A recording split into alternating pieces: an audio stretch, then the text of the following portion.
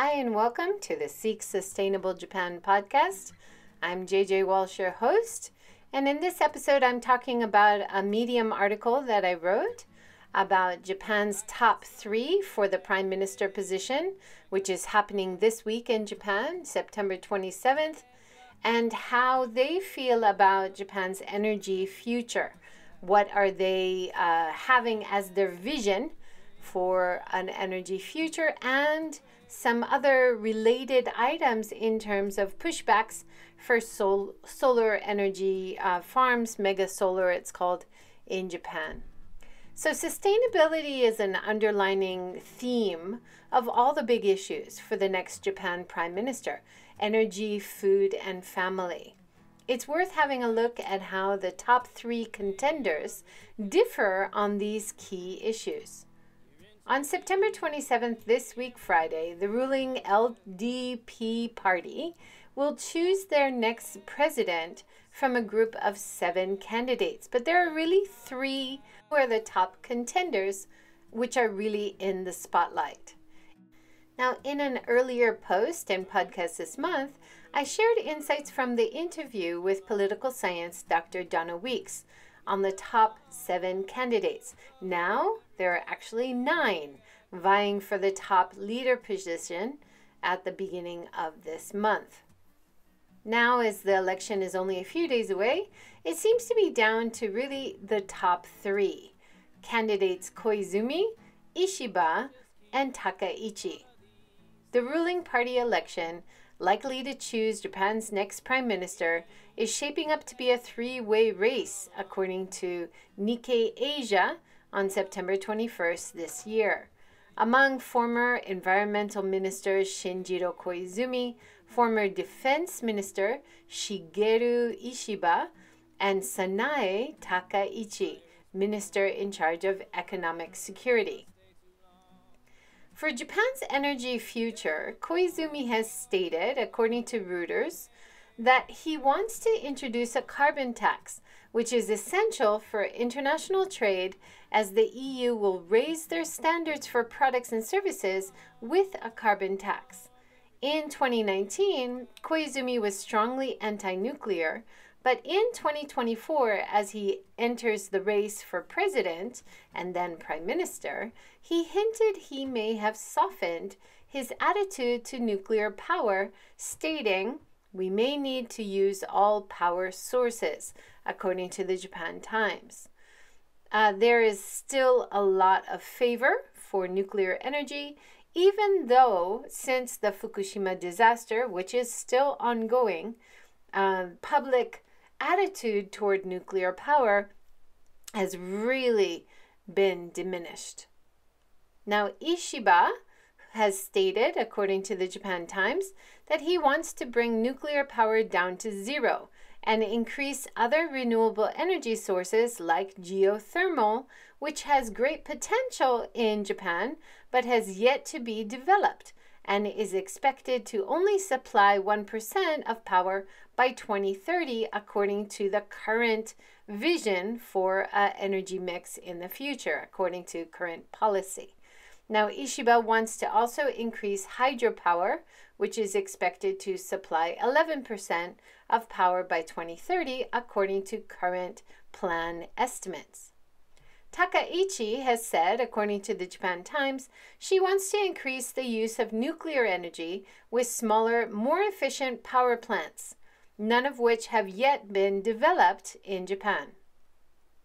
Currently, Prime Minister Kishida's green transformation plan is to increase nuclear power, which is already uh, built, uh, offshore wind, ammonia, and hydrogen both of which have yet to be developed, but there are arguments that implementation of his green transformation plan is too costly, as it's in the trillions of yen. According to Japan Times, September this year, under the current energy strategy adopted by former Prime Minister Yoshihide Suga's government in 2021, Japan's 2030 energy mix calls for 36% to 38% of electricity to be generated from renewable energy sources, solar, onshore and offshore wind, geothermal, hydropower, and biomass. 20 to 22% from nuclear power. 20% from liquefied natural gas. 19% from coal and 2% from oil.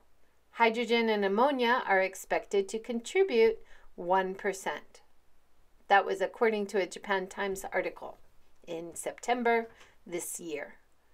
Rural mega solar backlash versus hybrid potential for solar farms. Now, recently in Japan, there has been a rural pushback against large solar projects that cut down forests, ruin the beauty of the landscape, or create glare for residents. Japan aims to increase solar energy input from the current 79 gigawatts in 2022 capacity to 16% of power needed, which would be 100 gigawatts by 2030, according to the Environmental International Energy International Association, EIA.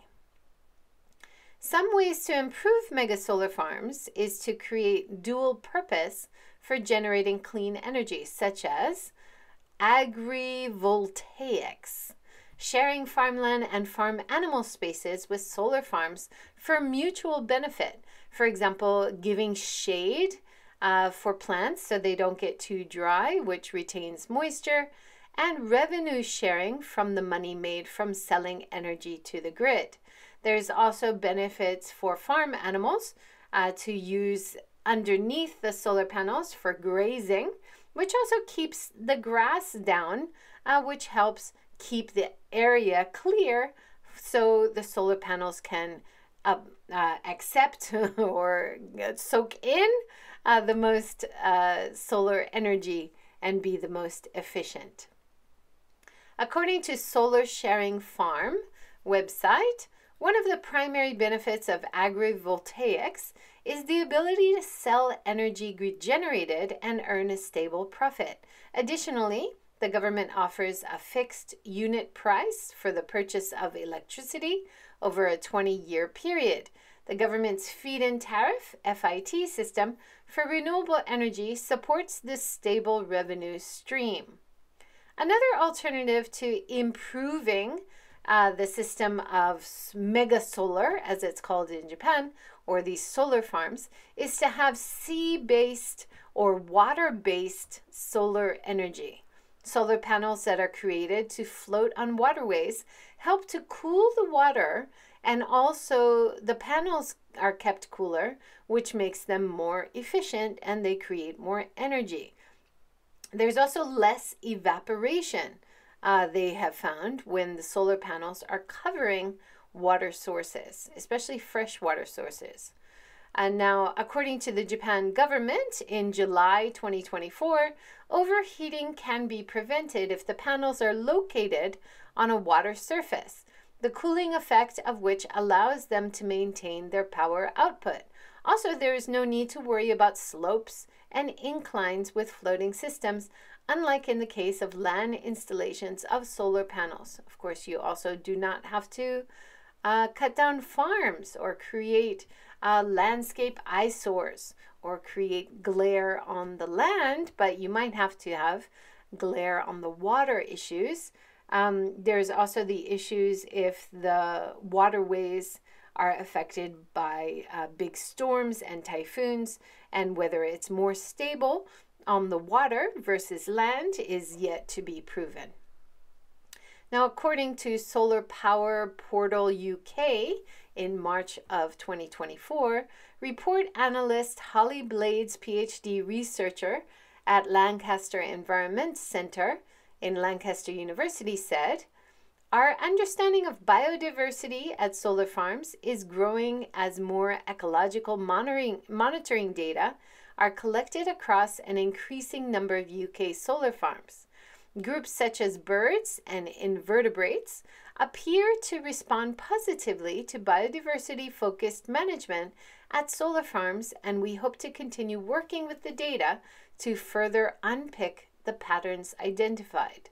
This is very good news, and of course, this is from the UK, but this is another potential way to more effectively use solar farms. Solar farms can support natural area biodiversity. Japan has a lot of mountainous and rural areas, even a lot of plots, which are abandoned farmland as the number of farmers is declining. A rewilding approach in tandem with creating mega solar farms might work very well here. In the UK, a study published this year showed how using solar farms in natural areas can support biodiversity. They found animals, insects, and plants all flourished in combination with well planned solar farms. So that that key part of that sentence, well planned solar farms, of course, is very important.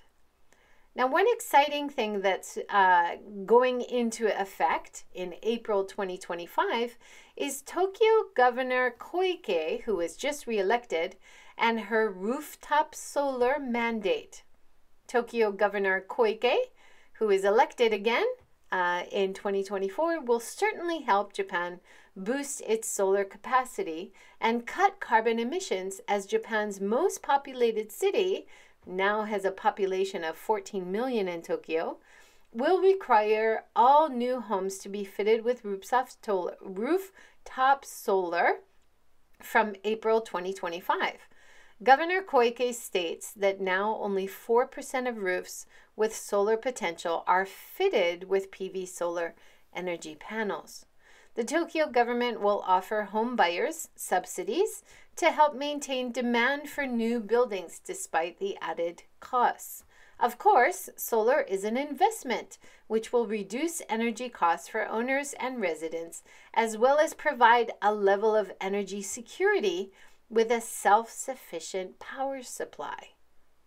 According to Tokyo Portfolio, Installing solar panels not only reduces monthly electricity bills, but also ensures power availability during outages. As we are having more uh, of the strongest storms ever due to climate change and global warming, these are real issues, whether you will have a, a dependable power supply. And if you have your own energy being created on your roof, this is a real asset. As many local governments take the lead from Tokyo, this could create initiatives to have mandatory solar PVs for all roofs on all buildings across Japan. In contrast to nuclear or fossil fuel burning power plants, the costs are much more reasonable if you look at how the energy is created from how the panels are created all the way to the end of life cycle. So the circular economy view of solar and wind is much more positive and much more effective, cost effective too, uh, than burning uh, energy, burning fossil fuels for power, or even nuclear, creating nuclear plants and the whole circular cycle. So, you are for solar energy, especially if it's on rooftop solar, you are creating energy where you need it and usually when you need it. As solar panels are also not dangerous for residents, if there is a natural disaster like an earthquake or tsunami, if it breaks, it doesn't cause a dangerous health and safety situation for residents. For even further self sufficient clean energy, homeowners could combine rooftop solar with a home battery system to allow for energy storage during the day, which can be accessed at night. Retired Japan has an interesting blog about installing solar and battery systems in Japan um, from a lot of case studies. So I'll put that link below. Uh, in the US recently, there was uh, argument in Congress about solar power and how it's not a good idea because it doesn't create energy at night. But then if you combine solar power with battery storage, then you can use it anytime. But usually, like we are working from home now, we have solar on our roof, we have an electric car. I charge the car during the day when our solar panels are making energy that it can use. So when I drive, it's like driving free, clean energy. It's wonderful. And we've paid off our solar system on the roof. So we're mostly using energy, electricity at home during the day while we're working during the day. We go to sleep at night. So it's not as much of an issue if you're not making as much energy at night. Of course, none in the case of solar. But we need a lot of these solutions, and there's a lot of potential for more solar, rooftop solar, and mega solar in Japan. Now, one of the other issues, of course, for the next leader of Japan, just like in America, is about taxes. So, the idea of whether or not to raise corporate taxes uh, is always a big issue. Another top issue for these top three candidates, of course, is whether or not to raise corporate taxes or maintain the existing plan. Uh, Shigeru Ishiba has stated that he wants companies in Japan to bear more of the tax burden, according to this Reuters article. Sanae Takaichi has said she would not raise corporate taxes for at least a few more years, according to Reuters. And Koizumi said he will follow through with the current government plan to raise corporate taxes and focus on government reform. In terms of social issues, Koizumi, as the youngest candidate, seems very keen to address modern Japan society issues. For example, he said he will support women to choose to keep their maiden name when they marry. Allowing married couples to have different names has been a heavily debated topic in the LDP. Koizumi has also made international headlines when he chose to take paternity leave, according to this link by the New York Times. Ishiba has said he wants to focus more on issues in regional areas, areas outside of Tokyo, as Ishiba is a proud member of his hometown in Tottori, which is famous for its sand dunes, not too far from where I am in Hiroshima, kind of in the middle of the country. A focus on supporting rural areas is one of the reasons he may be more popular at the moment with the general public across Japan, according to Asahi News. So, what did you think? Any of the issues of energy, tax, or societal issues that the next top three PMs are debating? Uh, anything stood out for you? I'd love to know. Uh, get in touch. You can find me at JJ Walsh on most social media or Inbound Ambassador on Instagram and Facebook. Look forward to hearing from you and have a great day.